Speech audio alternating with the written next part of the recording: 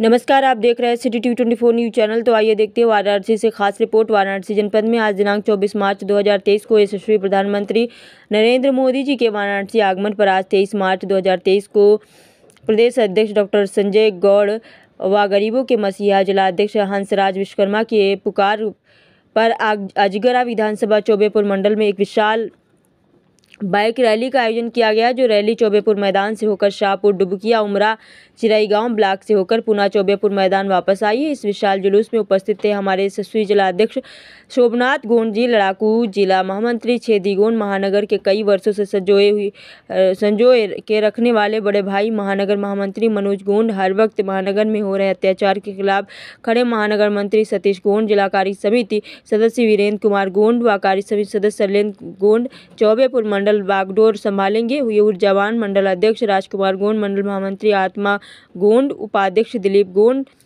मंडल मंत्री विजय गोंड, पिंडरा मंडल के मंडल अध्यक्ष रंजीत गोंड चौबेपुर मंडल के सभी पदाधिकारियों गढ़ उपस्थित। विशाल रैली का आयोजन किया गया। आकाश कुमार गोंड की खास रिपोर्ट।